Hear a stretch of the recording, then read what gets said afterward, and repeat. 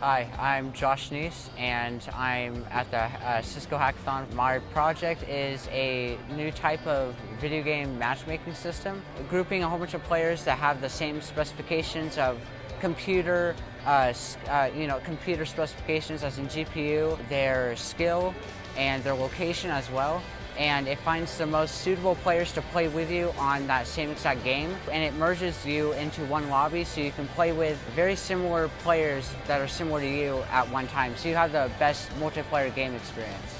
The Cisco Hackathon has been a great experience so far. So my name is Mark Barrasso and we're here at the Cisco Hackathon with Team Sanitize. We're using CMX and beacons to track employees to see if they're actually washed their hands. And you can integrate that with Yelp to see percentages of that person washed their hands today? Is this a clean restaurant? So to let people know uh, when they choose a restaurant where to go. For the next 24 hours, we'll be developing an iOS app, uh, the web interface, as well as the back end interfacing with the sensors and Cisco CMX. So we'll be able to track uh, employees real time uh, using Cisco CMX with Wi-Fi and beacons to trigger accelerometers on hand sanitizers to see if they actually went to wash their hands. Hi, I am Matina. I'm here at Cisco Hackathon. Um, I'm here as a UI designer. Uh, our project is um, safe transportation. Uh, we are working uh, to alert drivers about possible dangers and uh, we are working on vehicle sensors. Yeah, it's been a great experience. I learned a lot. I met a lot of cool professional people and it has been an amazing experience so far. Uh, my name is Sean Donahoe uh, from St. Louis, Missouri, and I'm here at the uh, Cisco Live Hackathon.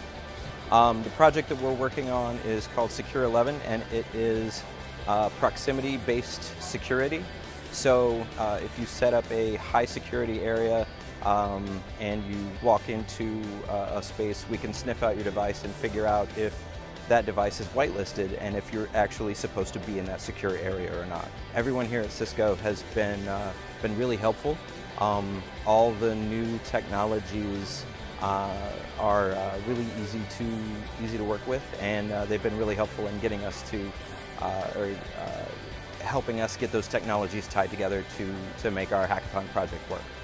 One of the things that we were really looking forward to was bringing the cloud into the game. Uh, we had a lot of IoT exposure. We'd been to the IoT World Forum, but we didn't have the, the, the public exposure of the cloud and the cloud tools that we brought to it this time. And I think folks really got excited about it. A lot of teams used it, and uh, a lot of teams that used it won stuff.